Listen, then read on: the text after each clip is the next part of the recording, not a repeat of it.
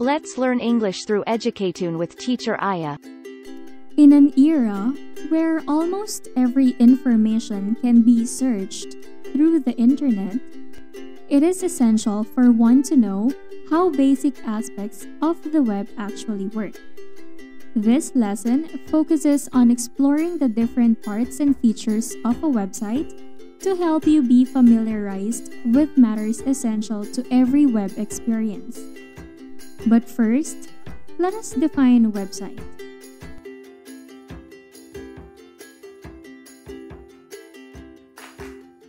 A website refers to a collection of web pages, usually grouped and connected together in a number of different ways.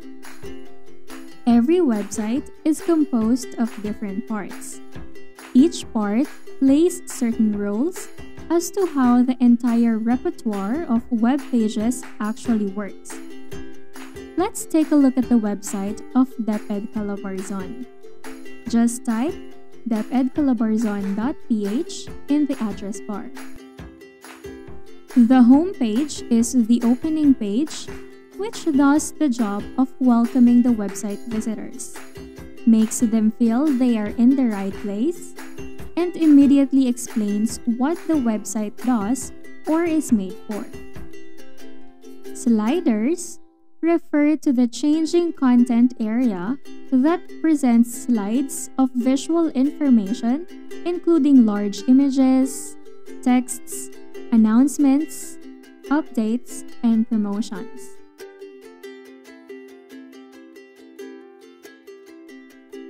The header is the content area at the top of the website which bears the logo as well as the navigation menu. This part likewise includes the taglines, addresses, contact numbers, and buttons used to sign up and log in. The navigation menu is the part of the header which bears the links that take or direct visitors to other parts of the website. This part is sometimes called tabs, links, or pages. The sidebar is the area of the website which displays information that is not part of the page's main content like a call to action or links to recent blog posts or social media accounts.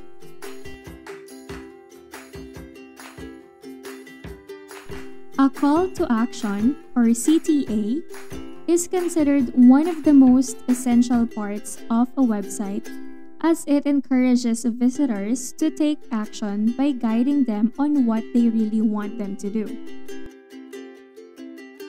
Finally, a footer refers to the content area at the bottom of every page that consists a website.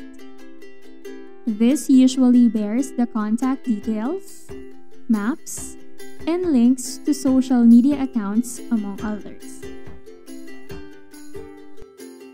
Once you are familiar with the different parts of a website, it is now important to learn about the features that make navigating a website easy. A website must at all times be easy to navigate, be easy to read, present relevant and up-to-date content, use relevant designs such as themes, colors, and visuals,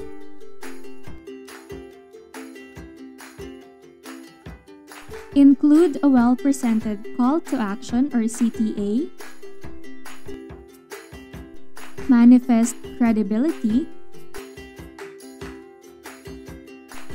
Be clear, simple, and can be viewed comfortably. And be mobile friendly. All these features work together so that visitors of any website may be engaged in exploring every part and every content presented and available. Now, let's try to practice what you have learned. Identify the part or feature of a website being described in each statement. Number 1. It refers to the content area at the bottom of every page that consists a website.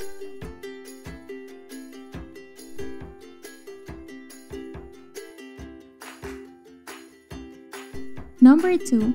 This is the part of the header which bears the links that take or direct visitors to other parts of the website.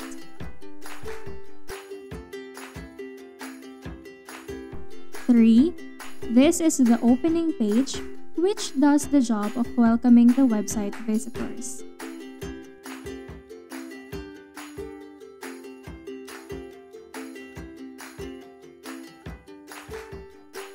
Number 4.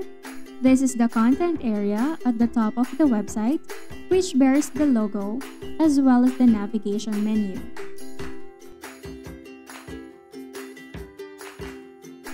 Number 5.